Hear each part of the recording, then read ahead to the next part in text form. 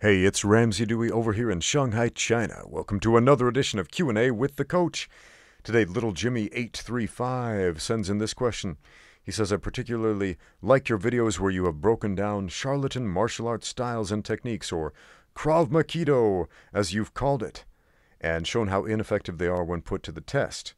Yeah, man, that's that, that's a simple thing anybody can do, right? Somebody teaches you a self-defense technique which they promise this will save your life in the case of violence. How about go test it out in the gym, at the very least against mild resistance, to see whether or not you were able to do that thing when the other guy is not cooperating? Very simple. Little Jimmy goes on to say, I find these videos of yours both entertaining and informative.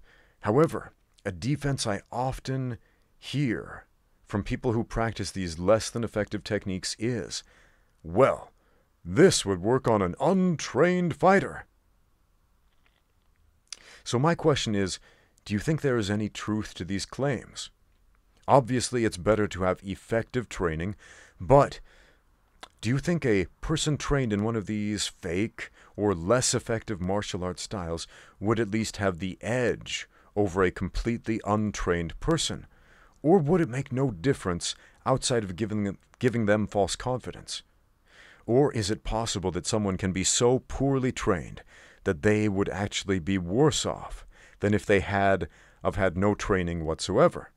For example, in your experience as a coach, have you ever found yourself needing a student to unlearn bad habits they picked up from a phony style before you could teach them the correct method?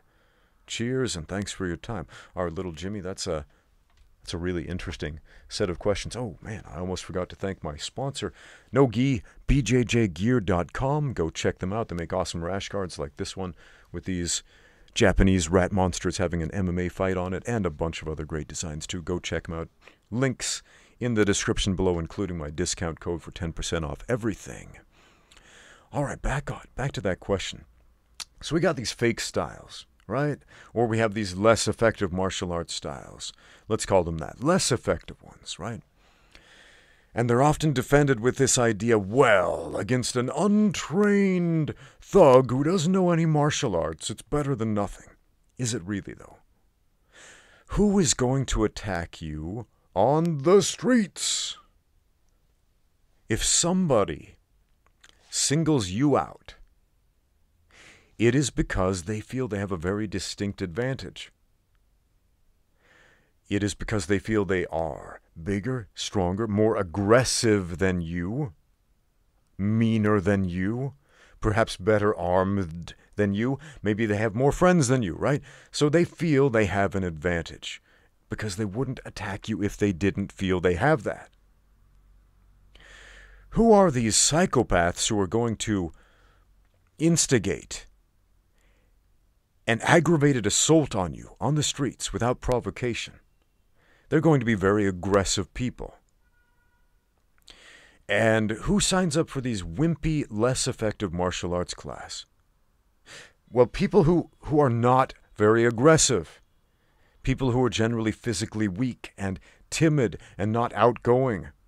The type of people who are generally preyed upon by these sorts of psychopaths who would single them out.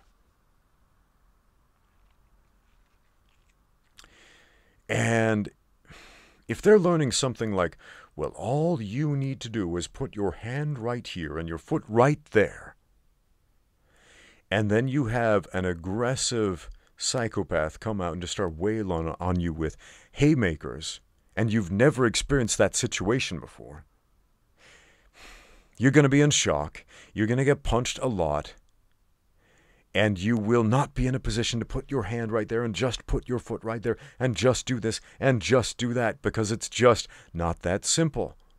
Violence is super chaotic. And in order to understand chaos, you must experience chaos. That's why you got to spar. That's why you got to roll. It's why you have to put yourself against a live resisting person who is not cooperating. That doesn't mean you have to get into a bunch of fights, although it certainly doesn't make you worse unless you sustain a bunch of brain damage. But you got to spar. You have to experience violence to understand violence. You must find yourself in the middle of chaos to understand chaos. Have I ever had to untrain people of bad habits? Yeah. Yeah. All the time. Now, I try not to do that because often people will come into my gym with a, uh, a deep understanding of a martial arts system that I don't do.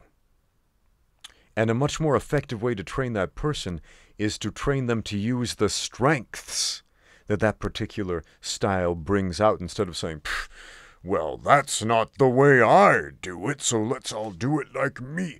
Now, not everything they do is perfect, so I don't emphasize that. Instead, I focus on what is good, what is going to work in a cage fight. What is going to work when push comes to shove? Like that one thing you do, man, from that from your style right there, from Bagua Zhang or Xin Yi or Tai Chi or or whatever it is that you do that you don't ordinarily see in a cage fight. That one thing, okay? That one Wing Chun technique that you do, that you already know, that you're familiar with, that is in your muscle memory. Here's how we can weaponize that more effectively.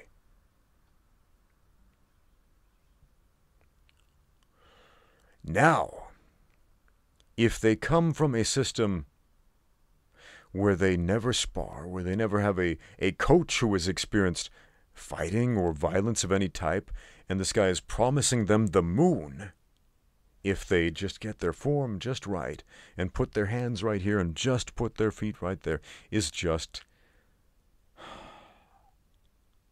just giving them a lie, you know. That's that's really all it is. What makes the difference right here